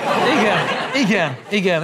Ez a feladat tornázni kell, és a szénátot kell terrorizálni. Ez a lényeg, ezzel kell foglalkoznom. Nem beszélek a külsőről, nem Te beszélek gyűlöld a... a szénhidrátot, de ne a szénhidrát fogyasztót? Figyelj, ö, a fogyasztót sose gyűlöltem. De ezt sok azták, hogy én a kövéket nem szeretem. Nem igaz, én a kövérséget nem szeretem. Jó, ezt mindig elmondod. E- e- ez Véleményes, nem- véleményes, ez nem véleményes. véleményes, ez nem véleményes. Ha én orvos lennék, nem vagyok orvos, de orvos lennék, és mondjuk onkológus lennék, attól nem kell a rákot szeretnem. Ezt is mindig elmondod, igen. Na ennyi. Ez a véleményem. Tehát a- a rákot De azért vannak ilyen panelek, amiket erre rá tudsz vágni. Ez, ez, ez, ez itt volt a panel. Igen. Van még egy videó, amivel Istenem. készültünk a számodra. De kellemesebb videó most már, ugye? Nem. Köszi. Sőt, igazából azt mondom, hogy az előzőek vitathatóak, véleményesek adott esetben, nem tudom. Uh, itt nagyon érdekel, hogy őszintén mi játszódott le a fejedben. Nem is vannak semmi más többet, nézzük meg ezt a Utolsó videót, és videó? aztán beszéljünk róla. Köszi. Köszi. Gratula! Úgy tűnik, hogy átment a vizsgán. Meggátoljuk, hogy elhízott értelmiségi legyél, fiam. És akkor mit fogunk most csinálni? Futunk 5 kilométert? Nem? Akkor fut, futunk 5 kilométert, jó? Ilyen gátlásos, magába forduló, csokievő, szemébe turkáló, fejét lesütő gyerek kialakult. Ez kb. fél órát fogod lefutni. Mit tettünk a tűzben? A kardot. És mit tettünk a, mit tettünk a vattacukorban? A nyálat. Mi akarsz lenni, kard vagy nyál? Ahogy látom, hogy egyre jobban fejlődik, és most már abba hagyta a bőgést, meg a mindenfajta hisztit a futás előtt és közben, megtanulom tisztelni a fiamat. És ne egy olyan dagad, mint én voltam. Ez így van. Apád úgy nézett ki, mint egy baltoletett fóka. Csak épp azt nem mondtam, hogy én olyan vagyok, mint egy kőfal. Tehát engem nem fog tudni áttörni, meg kell másznia. Itt tudsz belegyorsítani. És ma a fiam atléta. Őrület. Megmászott? Megmászott és le is nyomott. És félfej magasabb nálam, súlyva kevesebb, mint én, színkoszka, úgy néz ki, hollywoodi sztár, 17-tel fut a futógépen, meg 20 tényleg. tehát brutálisan tud futni, vízilabdázik, teniszezik, ö, senki nem kényszeríti, jobban détázik, mint én, mindent megkérdez. Hát most már megy 17-8? 17 lesz. Jó, tehát lassan felnőtt ember. Miért kellett ezt a TV2 kameráját művelned vele? Hát figyelj, édesértet forgattunk, szerintem valami, valami hasonló ilyen műsort, és valami, valami sztorit kellett csinálni, hogy a fiamat ráveszem az edzésre, és ez a sztori jött össze belőle. Alapvetően tényleg nálunk a családban harc volt, a, a gyerekkorban kicsit el voltak hízva a gyerekek. Nagyi tömte, nem érdekelte az egészséges életmód egyiket se, és hiába erőködtem, ők maguktól változtak meg. Tehát egy, egy, egyik nap felébredtek, és elém álltak, hogy apa, akkor szeretnék változtatni. És így történt a sztori. Ez tök oké, de itt egy tíz éves gyerekről beszélünk, akinek nyilvánvalóan nem lehet tudata arról, hogy mit jelent egy tévéműsorban szerepelni, te pedig egy tévéműsor kívánalmai, egy szerkesztői kívánalom alapján rendeztél vele egy jelenetet. Nem rendeztem, mert igazából ez a jelent, ez naponta meg volt nálunk. Tehát na, napon, Naponta így viselkedtél a fiaddal? hát nem így viselkedtem vele, de elvittem futni az erdőbe, futottam elő, futott mögöttem sírva, ígértem neki vidámpalkot, csak ne sírjon, mert fusson már velem. Próbált, próbáltam vele a De sportot. lehet, hogy itt a futással van a probléma, nem Norbi? Lehet, hogy futása volt a, a, a, a probléma. Engem senkem, tehát amikor tíz éves voltam és dagad gyerek voltam, nem senkem foglalkozott. Tehát én, én megettem hat milkacsokit a tévénél, hat milkacsokit, megittam két liter kólát, híztam tovább. Ö, A gyerekeim is láttam ennek a nyomát, hogy elindul rajtuk a kiló, mert a genetika az ilyen, és ö, meg akartam őket ebbe gátolni, és elmondtam neki, hogy inkább legyél kartfiam, Ez mint tök oké. nyál. Ez tök oké. Csak itt megint erről beszélünk, hogy miért a megszigyenítés pedagógiáját érezted célra vezetőnek a saját gyerekeddel szemben. Szerintem a filmat sosem szégyenítettem meg. Ez nem megszigyenítő szerinted? Szerintem nem. Hogyan beszéltél róla? Hát mit, mit mondtam róla? Mi, mi az a megszégyenítő? Hát ahogyan például ott a riportban beszéltél róla, hogy törli a szemét, stb. De most már nem sír futás előtt, és megtanultam tisztelni a E- e- fiamat. Ezt nem róla mondtam, hanem úgy általában, hogy... Ezt hogy róla mondtad Norbi ott abban a Szerintem, videóban. szerintem ezt általában mondtam, de megtanultam tisztelni a fiamat, és ez, ez a lényeg az egész sztoriba. Tehát, hogy, hogy én tisztelem a, a, a gyerekeimet, és nagyon tisztelem őket, és, és megadok nekik mindent. És szerinted ebben a videóban, amit te képviseltél, az a tiszteletjele volt feléjük? Vagy feléje konkrétan? Nem tudom, szerintem ez egy körülbelül egy ilyen 7-8 éves balfasz videó, egy balfasz tévéműsorból. Lehet, hogy lehetett másképp fogalmazni, de egy biztos, hogy a fiam, a lányom nagyon büszke felnőtté és kamasszá nőtte ki magát, nagyon jól tanulnak, nagyon jól sportolnak, nagyon tisztelettudóan viselkednek, tehát valamit azért jól csináltam, de nem voltam jó apa. Nem voltam jó apa, mert igazából az első 5-6 évben nem nagyon vettem részt a gyereknevelésbe, mert én toltam a céget, mindent én vittem, akkor még nem volt Réka brand, és ö, utána próbáltam behozni minden lemaradást. Beállni, igen, ne légy elhízva, figyeljünk az egészségre, sportoljál, csinálj bármit. Szóval igazából próbáltam magam utolérni. És nem mindig a, a legjobb eszközzel, de a végeredmény az jó lett. Tehát ni- nincsenek ö, lelkisérült, megtört gyerekeim, hanem kurva jó tanuló és nagyon sportoló gyerekeim vannak, és erre nagyon büszke vagyok egyébként. És nagyon tisztelt tudok. Oké. Okay. Semmi okom nincs ezt megkérdőjelezni, készséggel elfogom, amit mondasz, de ezt a videót látva, ahogyan ott a gyerekedet látjuk, lehajtja a fejét, látszik, hogy az egészhez semmi kedve nincs. Feltehetően nagyon zavarban van ettől az egész helyzettől, nem is biztos, hogy átlátja, hogy pontosan minek a része. Nincs benned megbánás vagy rossz érzés, hogy ennek kezdted ki őt? Ö, mi megbánásom van? Az a megbánásom van, hogy akkor még hittem a tévének az erejében, akkor még elég volt, erős volt a tévé, és ö, elváltam ezt a műsort. Az, az a megbánásom van. Tehát igazából akkor se voltam rászorulva a, média bevételre, mert most sem vagyok rászorulva. Tehát igazából elhittem a tévé erejét, nagyon sok vetélkedőt elvállaltam, megcsináltam, ma már nem. Tehát ma, ma, is, ma is hidd el, hogy hívnak a komoly tévécsatornák komoly műsorokba, bentlakásos vetélkedőkre hívnak, és nem megyek el. Nincs az a pénz. Uh-huh. Nem akarom. Nem, nem, nem akarom az életemet már. De emiatt, ami itt történt? Nem, az egész miatt. Csömöröm Bocs, van. itt az történt, hogy elvállaltad a műsort, és emiatt kellett szállítani a sztorit, és meghajtottad a fejedet a szerkesztői akarat előtt, vagy pedig ezzel te magad is egyet tudsz érteni, és azonosulni tudsz vele. Ö, vegyes. Vegyes. A küzdelem folyt a gyerek elhízása ellen, és ebből lett összevágva három perc, inkább mondjuk így. Uh-huh. Tehát a, egy szerkesztő dönti el, hogy melyik mondatot vágja be, és kihagyja azokat a mondatokat, amik tök pozitívak. Tehát azért, azért ne, ne gondolod, hogy, hogy egyik mondóban megsimogatom, másikban megpofozom. Tehát tudod, egy, mondja az apa a mantrát, mondja a Ne mantrát. legyél elhízott értelmiségi fiam. Igen, ez egy fasság volt. Hát most ö, értelmisége fiam, de nem elhízott. Úgyhogy igazából ez egy, ez, egy, ez egy nagyon jó érzés egyébként. Mi kellene az, hogy a jövőben az ilyen helyzetektől ment legyél? Hát benőne a fejem lágya. Már kezd benőni egyébként. Vagy nem? Úgy látom, Nézők hogy- eldöntik. Egy Igen. záró kérdésem van hozzád, Norbi. Um, túl a sztrókon, uh, ami nyilván egy hatalmas trauma, ezt valószínűleg kevés uh, ember vitatja, és ezt nem is kell szépíteni. Nyilván nagyon sok minden lejátszódott benned, hogy mire használtad az eddigi életedet, ami életek, évek még előtted vannak, azokat mire használhatod. Hogyan készülsz, mi a terved, miben fog megváltozni az a kép a nyilvánosságban Norbiról, ami mostanáig azért alapvetően meghatározta azt, hogy hogyan gondolunk rád. Alapvetően szeretném Norbit a háttérbe tolni, és előtérbe tolni az update-et. Ez a legfontosabb feladatom. Azt gondolom, hogy azért csak összehoztam 20 év alatt, és egy jó dolog. Képes vagy? Képes vagyok, abszolút képes vagyok. Nincsen Ö, nyilvánosságfüggőséged? Nincs, nincs, nincs. Ha mégis ezt tapasztaljuk majd, akkor mit csináljunk? Szóljál. Zolinak?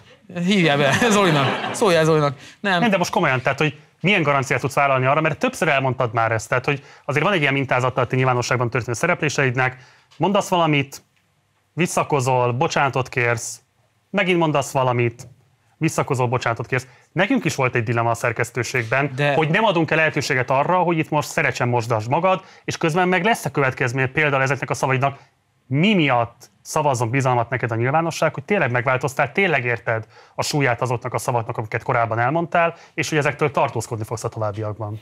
Hát egyrészt sose adtam még ilyen, ilyen interjút az elmúlt életemről, mint itt. Soha.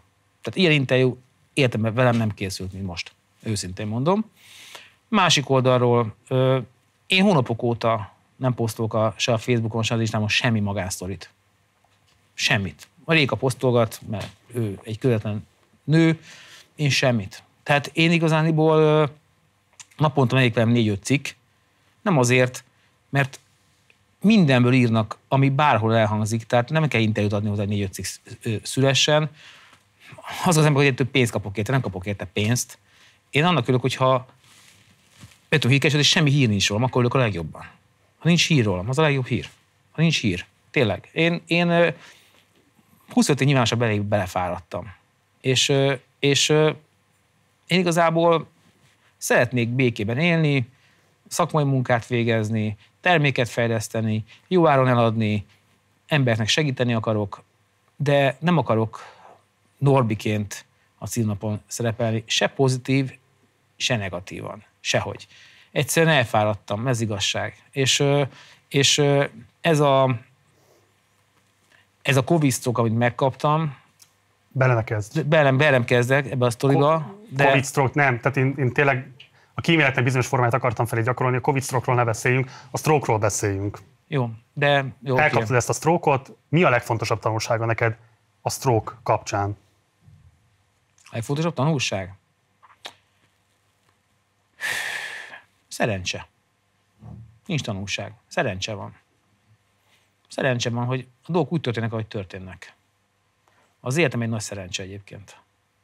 És a száz év múlva lesz még magyar kikicsoda, mi az az egy mondat, nem bővített mondat, egy tőmondat, amit szeretnél, hogy lehessen olvasni a neved mellett. Hm. Az egy tő mondat? Ha, mondjuk azt, aki a legtöbb magyar lefogyasztotta. Hölgyeim és uraim, Sobert Norbert, nagyon köszönöm, hogy elfogadtad a meghívásomat, és Én köszönöm, köszönöm. szépen, hogy itt voltál most velem a stúdióban. Egy nagy tapsot szeretnék kérni Sobert Norbertnek. A műsor még nem ért véget, most fog következni a Partizán Sessions, következik a Partizán stúdióban Harry Gonzó. Folytatódik a péntek esti Partizán, a Partizán Sessions-szel, itt van már velem Harry Gonzó. Szevasz, köszönjük, hogy elfogadtad a meghívást. Hello, én is nagyon köszönöm. Ugye a Fran Palermo ének, vagy énekeseként vált el igazából híressé, de újabban szóló projektekkel is jelentkezel. Mi alapján döntöd el, hogy egy dal, amit szerzel, az a Fran Palermo-ba megy, vagy pedig egyedül fogod előadni? Körülbelül tíz év Fran Palermozás után kezdtem bele egy magyar nyelvű projektbe. Igazából nagyjából egy éve, és ez az, ami lassan kezd beérni, és ez igazából a kettőt azért nem keverném össze, mert az egyik magyarul van, a másik pedig inkább főleg angolul, ugye, meg van egy kis spanyol dal és ilyesmi. Szóval azért, hogy, hogy nem mosódjon össze a két projekt, azért ez elég logikus, hogy egyértelműnek, egyértelmű döntés lehetett. De a nyelvi különbség az egyedüli alapvetően? Nem, egyébként sokkal melankolikusabb is ez a projekt, sokkal személyesebb is, és hangszerelésben is majd más lesz. Most nyilván egyedül adom elő, de hamarosan ezt így színpadra visszük elég érdekes hangszerelésben. Készült róla egy dokumentumfilm is, pedig hát mi nem egy egyetlen pályádnak a végén. A konkrétan úgy fogalmaztál, azt hiszem elég méről jövök, és akik méről jönnek, mint a mélytengeri halak, kicsit mások, kicsit szörnyek. Ez a szörnyszerűség, ez a zenében hol köszön vissza, vagy hol tetten érhető szerinted? Azt gondolom, hogy, hogy általában az emberek, akik dalszövegeket írnak, gyakran, még ha bújtatott is, akkor is elper egyben, tehát saját tapasztalatokról tudnak leginkább őszintén beszélni, vagy, vagy bármi otthonról, vagy, vagy a világban ért hatás, hatásokról, és azt gondolom, hogy, hogy valami ilyesmire gondoltam akkor. Ez egy, jó, ez egy személyes feldolgozási folyamat is néha. Tehát ez egy személyes bűnvallás is néha dalszövegben, vagy ilyesmi. Wow, jó, hát akkor hallgassuk meg ezt a személyes bűnvallást. A péntekesti Partizán stúdiában következik Harry Gonzó.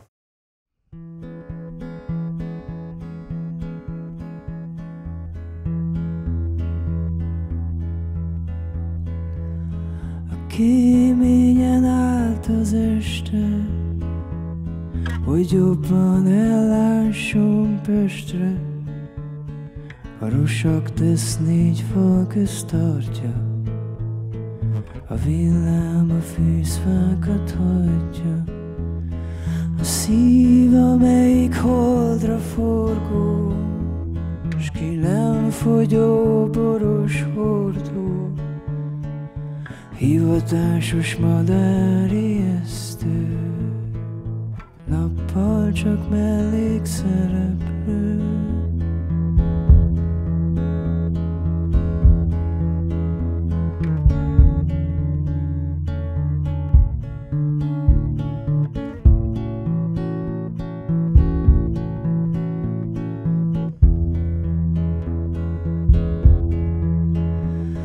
Sok ház van még építendő, Hogy rókán alatt nő az erdő.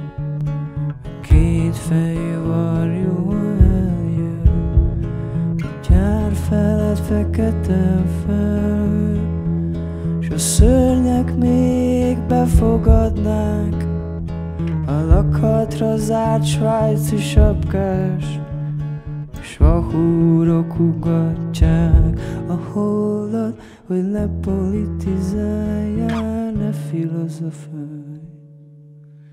Utazzal inkább külföldre, inkább külföldre. Ha nem tetszik, el lehet menni,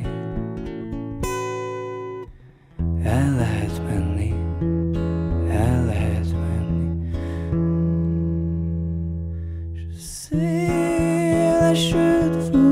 szememre, ütős a holdvilág a térben, élet lovagol be Perzsiába, saját lakásomba vagyok kizárva.